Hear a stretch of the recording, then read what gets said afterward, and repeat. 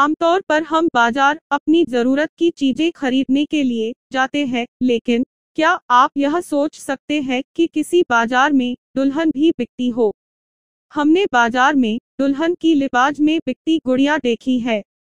लेकिन जब आपको ये पता चले कि एक ऐसी जगह है जहाँ जीती जागती लड़कियाँ दुल्हन के लिबाज में बिकती है तो कितना आश्चर्य होगा।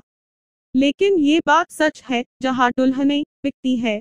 बोली, लगती है, और लोग दुल्हनों की वाजिब कीमत चुकाकर उन्हें ले जाते हैं।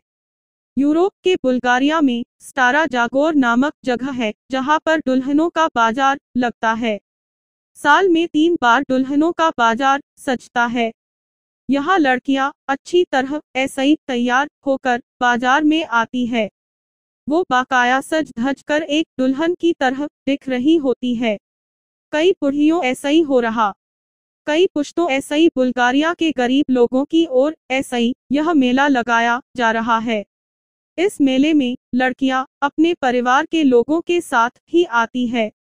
एक तरह की पारिवारिक मिलन समारोह। बुल्गारिया के ऐसे कई परिवार हैं जो आर्थिक रूप ऐसा ही सक्षम न होने की वजह ऐसा ही अपने बेटियों की शादी इस तरह तय करते हैं। इसे इस तरह समझिए कि एक पारिवारिक मिलन समारोह हो रहा है और दूल्हे वाले दहेज दे रहे हैं।